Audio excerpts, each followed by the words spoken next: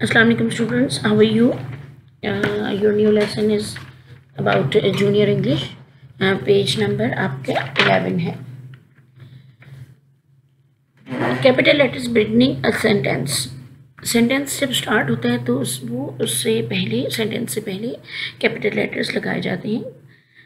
First uh, है आपका a part copy the sentences begin each with a capital letter and next है put a full stop at the end of statement uh, next है put a question mark at the end of each question. Number one देखिए honey honey को capital H इसका capital करेंगे honey is sweet ये simple sentence है negative नहीं है interrogative नहीं है इसको हमने फुल स्टॉप आगे लगाना है पुट करना है. नंबर टू देखिए द द के जो है टी जो है वो कैपिटल करेंगे. The sun sets in the west इसके बाद फुल स्टॉप लगाएँगे. एंड थर्ड देखिए do you like nurse helping verb पहले आ रहे हैं और द डू जो डी जो है, वो कैपिटल आएगा और ये क्वेश्चन मार्क लगेगा।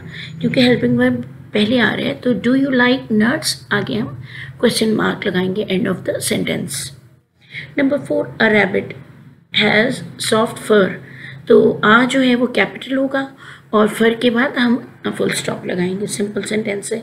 When will you be ready तो वेन का डब्ल्यू जो है वो कैपिटल लगेगा और रेडी के बाद क्वेश्चन मार्क लगाएँगे। Number six keep off the grass keep का के जो है कैपिटल लिखेंगे और ग्रास के बाद हम फुल स्टॉप लगाएँगे। This meat is very tender this का टी जो है वो कैपिटल करेंगे और टेंडर के बाद हम फुल स्टॉप लगाएँगे। अब are you going shopping are जो है हेल्पिंग वर्ब है और सेंटेंस से पहले आ रहा है तो आर का ए जो है वो कैपिटल लिखा जाएगा और उसके बाद शॉपिंग के बाद क्वेश्चन मार्क लगेगा, ये इंट्रोगेटिव सेंटेंस है।